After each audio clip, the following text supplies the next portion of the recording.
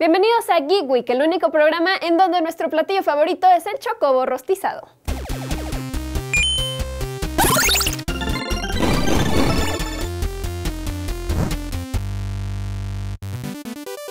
Pasado poco más de dos años desde que Spider-Man se unió a la acción y desde entonces su fama se ha catapultado para ser de un one-shot de Marvel a tener su propio cómic, juguetes y ahora su aparición en una caricatura de Marvel. Según lo revelado por IGN, Spider-Man debutará en el mundo animado de Marvel en Ultimate Spider-Man como parte de su final de temporada que constará de cuatro episodios llamados Return to the Spider-Verse. Es un buen detalle que este nombre nos recuerde al evento en el que Spider-Man fue introducida al universo de los cómics en 2014. La actriz Dove Cameron le prestará su voz y no solo Spider-Gwen hará su aparición en el show, sino que Peter se encontrará con más héroes arácnidos. Ben Diskin interpretará a Blood Spider-Man, Christopher Daniel Barnes, quien le prestó su voz a Peter Parker en la caricatura noventera, será Wolf Spider-Man. También aparecerán Spider Cowboy, Spider Pirate, Spider-Man Noir y por último Rocket Raccoon y Howard the Duck, porque al parecer todos los Spider-Man del universo no son suficientes para que el final de temporada sea lo suficientemente épico.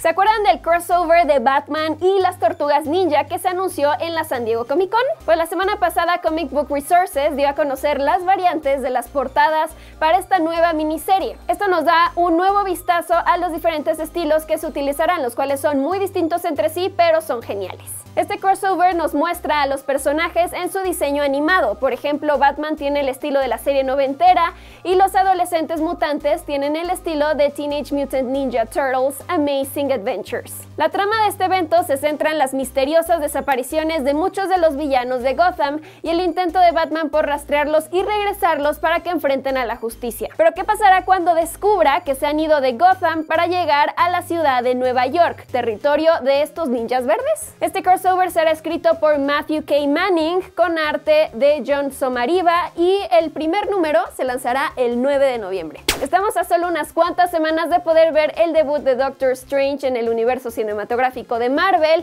y todo parece indicar que el personaje ha recibido ayuda de último momento. Según The Hollywood Reporter, Dan Harmon, mejor conocido por ser el co-creador de la serie animada Rick and Morty, fue llamado para ayudar a escribir escenas adicionales para la película luego de que las filmaciones principales hayan concluido. Sí, ya sé, las infames regrabaciones, pero todas las películas hacen esto, es como una manera de revisar y corregir cosas que no les hayan gustado del todo. Dan Harmon seguramente traerá lo extraño a esta película, ya que él es un realmente talentoso genio para la comedia. Doctor Strange se estrenará en Estados Unidos el 4 de noviembre. Warner Bros. ha fichado a Doug Liman para dirigir Dark Universe, la película de la Justice League Dark. Esta es una muy buena noticia para Warner, ya que Liman tiene mucha experiencia dirigiendo películas de acción. Por ejemplo, él dirigió la trilogía de Bourne y además ha adaptado historias a la pantalla grande, como por ejemplo la novela All You Que se convirtió en la cinta Edge of Tomorrow. Variety fue quien reveló que Liman iba a tomar las riendas de la dirección de esta película,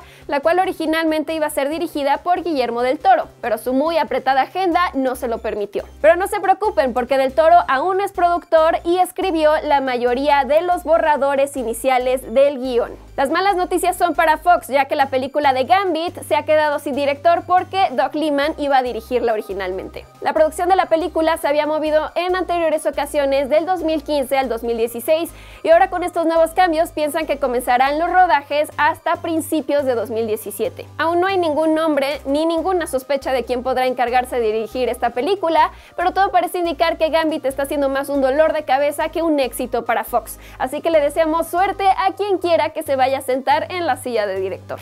Los detalles de la trama y las mecánicas de la nueva entrega de Resident Evil se habían mantenido en secreto y nadie sabíamos a ciencia cierta si íbamos a poder enfrentarnos con zombies y si íbamos a poder utilizar algo más que una linterna. Esto era hasta hace algunos días, ya que algunos de estos detalles fueron revelados por la ESRB la semana pasada cuando publicaron en su página la calificación de los contenidos del juego, que afortunadamente fue mature, como todo mundo esperábamos. En esta información, que por cierto ya ha sido retirada del sitio, podíamos ver que el protagonista del juego se llamará Ethan. Este personaje tendrá que aventurarse en una mansión abandonada en busca de su esposa. Ethan podrá utilizar pistolas, escopetas, lanzallamas y sierras eléctricas para matar criaturas mutantes y por si esto no satisface tu venagor, en la página también mencionan una pala con la que podrá hacer el terror de todos los zombies en la mansión. Así que podemos estar tranquilos de que el juego se mantendrá fiel a sus orígenes y podremos ver el producto terminado cuando Resident Evil 7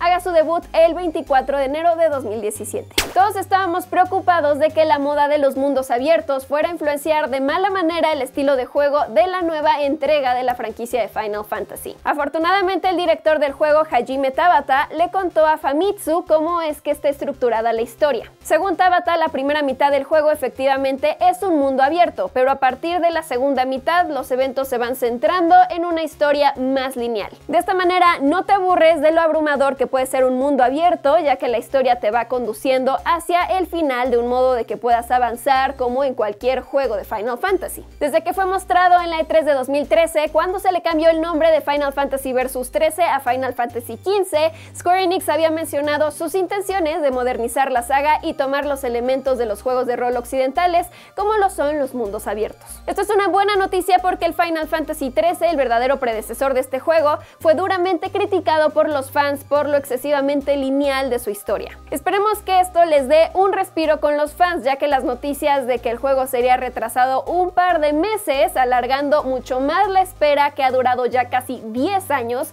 no nos tiene tan contentos.